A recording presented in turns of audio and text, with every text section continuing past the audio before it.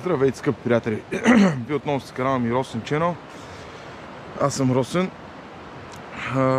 Не бях качвал доста време клипове, тъй като нямах достатъчно време. Тази година мисля да се поправя и ще гледам да качвам клипове поне веднъж седмицата. Днес е 3 феврари и се намирам една от любимите ми реки. Няма да я споменам, всеки би я познал. Да откриваме пастъровия риболов за втори път. В началото, началото на годината, на 1 феврали, бяхме с едни приятели на Монтана. Получи се средно положение като риболов. Риби много, хора още повече, което на мен лично не ми допада. Обичам да е малко по-спокойно. Дори и тук да им са минали хора, самата реха, самата обстановка е доста по-хубава, доста по-подходяща, нищо против госта и хората, които ме пазят и всичко, което са направили. Наистина има огромни риби за снимки е перфектна, но не, просто не е моето. Може би няма посета повече тази година Монтана. И така, нека се захващаме с риболова. След малко ще ви покажа тъкъмите и воблерите, с които ще лова. Те са изцяло направени от мене. Едни прототипи ще пробваме и останете с мен да ги погледам. Това са воблерите, които аз си правя ръчно. Ето един 48 мм, бавно потъващ, още един тук е един, който е доста по-бързо потъващ. Ето на този 42 мм бавно потъващ имах доста успехи в, на откриването в Монтана, като тук, имаме, тук имам въртележки, клатушки, които аз правя. Днес ще пробваме ето този прототип. Това е цвят пелета, така е беше известна при клатушките. Дори не успяете да го завърша до край воблера. Той е 38 мм. Бавно потъващ. Дори ще стартирам с него. И също така ето този 28 мм. 1,2 грама. Супер малък, единични куки. Кажете как ви харесва повече да бъде този модел, тъй като това ще е новия модел за тази година. Малко закъснях. С а, хрилни капаци ли да бъде или да го оставя така с очички като той ще има подобрение малко и ще има 28 мм и 30 мм ще има този вариант.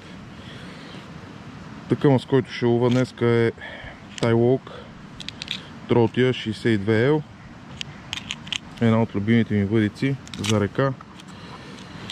С нея лова от повече от може би 3-4 години.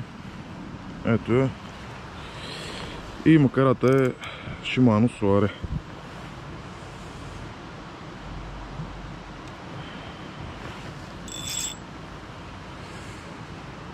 Също така съм си приготвил и силикони. Ако лова на силикони, лова на либри или на, на Пепи Лаков. За мен е... Тъй като аз не мога да лова много, много на силикони, съм свикнал с на Пепи Лаков силиконите да лова и даже тук един черен е паднал и изцяло разчитам на неговите силикони. Един Twix за по-късно и е време да потегляме. Прибираме кутиите и тръгваме по реката.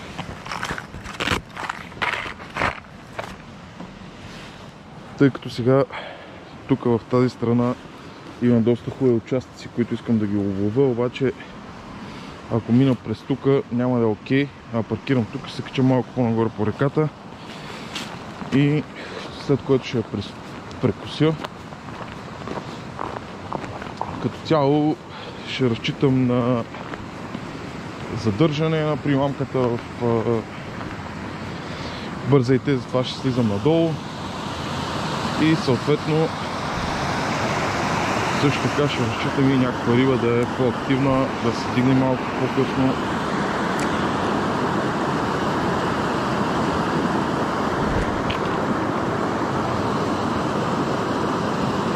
Воблер има брутална игра.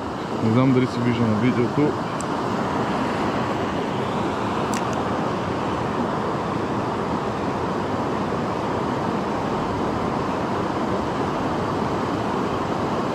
Ето имах първо тръгване на риба. И така и първата рибка.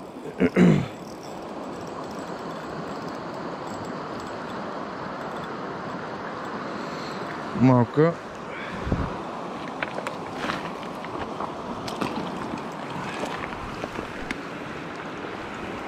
Но много красива.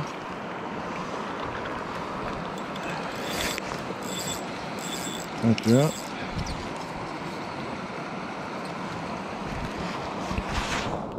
Взема на така известната пелета и кука без контра. Ако не може да си темперирате ръцете, не ги пипайте изобщо. Няма смисъл да ги снимате по какъвто и да е начин. Те си достатъчно красиви, всички ги знаеме.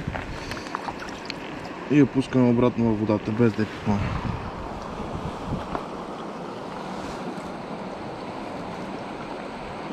Не успях да снимам удара, но така е. Снимам от 40 минути. Ето така заметнах. Един-два туича и в течението се пусна и ме удари тази рибка.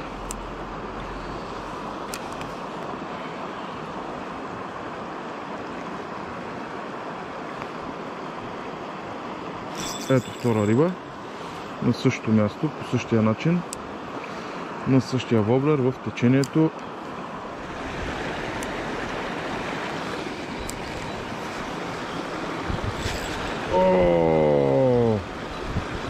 Отново хубав удар, хубава риба се дигна.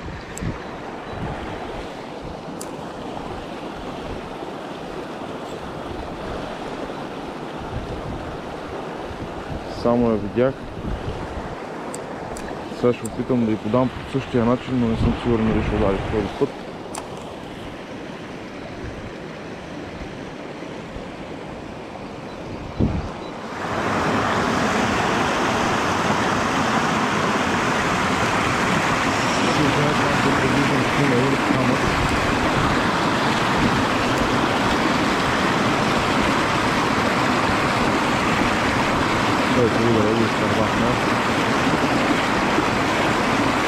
あっあったあったあったあった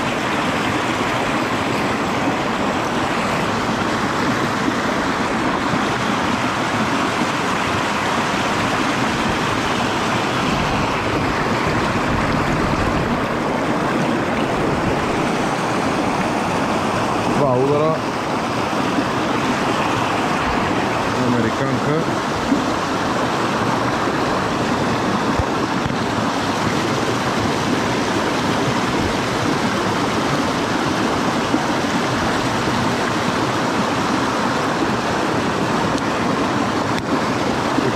да я пипаме, рибата се връща обратно в водата.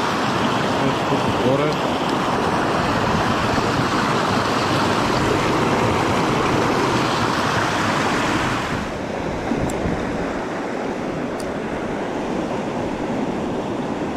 Ето я.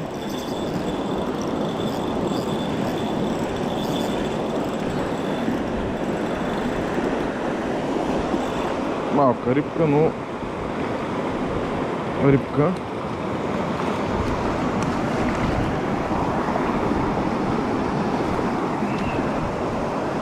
По-тежкия воблер. И веднага се откача американче. Американче малко. Без да е пипам, я пускам обратно на водата.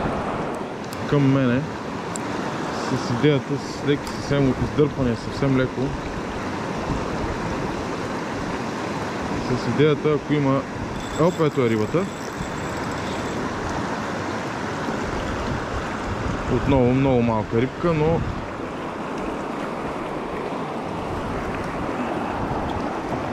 ето балканка. Мъничка, красива балканка.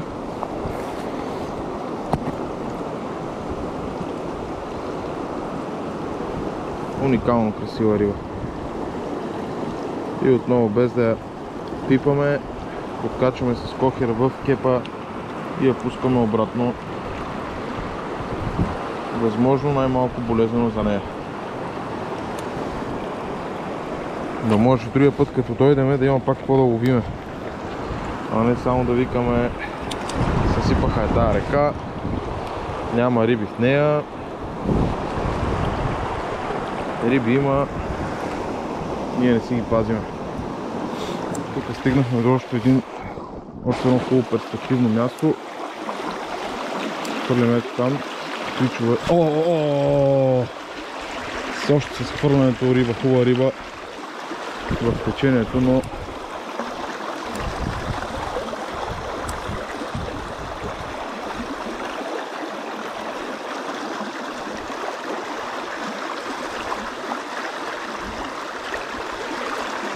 Опет е. Вижте каква малка риба. Колко аванс и колко борба.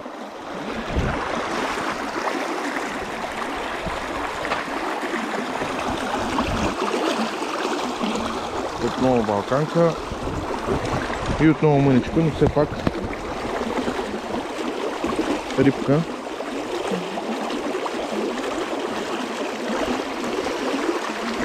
Отново по същия начин, без да пипате рибата. Ако не може да си темперирате ръцете, няма смисъл да ги пипате красиви риби. И отново я пускаме с кепа във водата.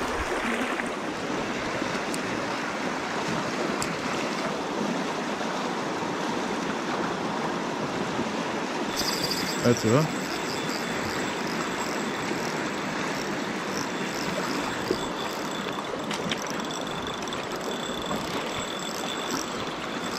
Отново същия воблер.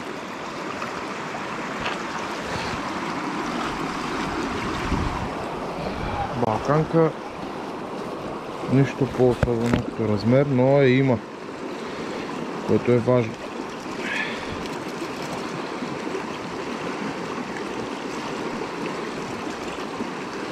Отново откачаме, пускаме и тогава също може да си откачим воблера.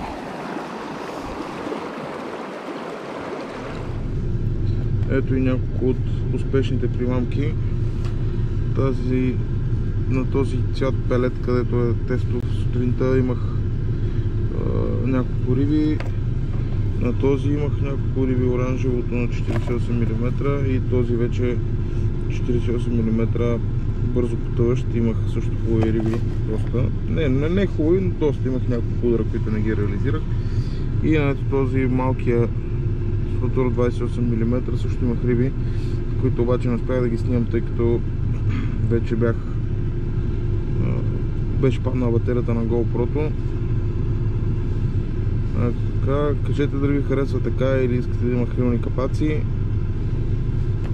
И ако видеото ви е харесало и искате да ме подкрепите, може да се абонирате за канала. Вътре ще има, в канала ще има само мои продукти, които може да гледате, да си ги поръчате от мене. Надявам се скоро да ги има и на повече места. Айде